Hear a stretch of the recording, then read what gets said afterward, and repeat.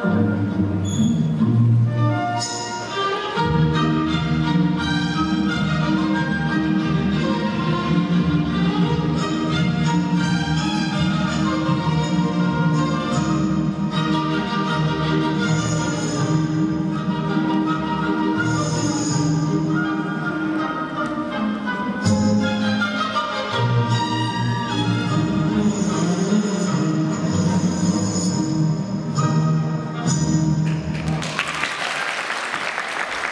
Bravo, Anita.